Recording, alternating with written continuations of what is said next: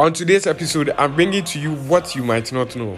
I know you know 1 plus 1 is 2 and 2 plus 2 is 4, but you might not know the names of Ghanaians with Guinness World Records, right? Hmm, I got you. So today I'm presenting to you Ghanaians who have set Guinness World Records. So on number 1, I present to you Lewis Appiagyei. Appiagyei had his first Guinness record at the age of 10.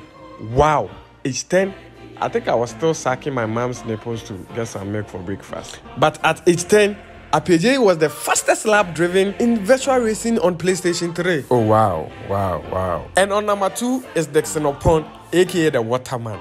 He set the Guinness record for the longest time to spray water uninterruptedly from his mouth in 32.66 seconds.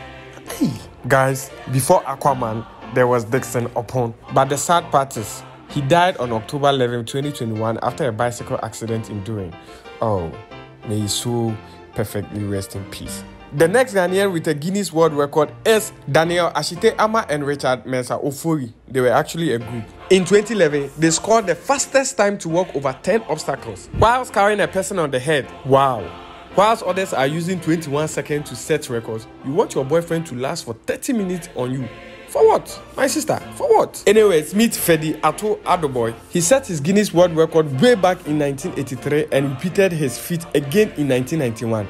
1991. I wasn't even born. This man entered his time in the book of legends by running 100 meters backwards in 12.7 seconds and 13.6 seconds in 1983 and 1991, respectively. According to the Ghanaian Museum, Ferdie has a total of four Guinness World Records. Wow, people are really doing much in few seconds.